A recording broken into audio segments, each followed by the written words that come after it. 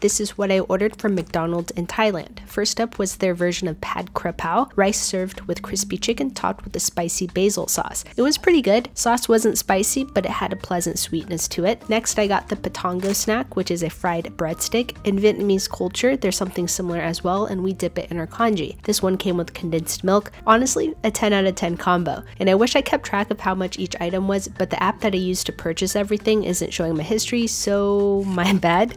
Last up, my friend told me I had to try their corn pie. I also grabbed pineapple since that was different than what they have here in the States. I'm not quite sure how I feel about this. I love pineapples, but this is very sweet. I definitely preferred the corn pie, although it was just like canned cream corn inside a crispy pastry.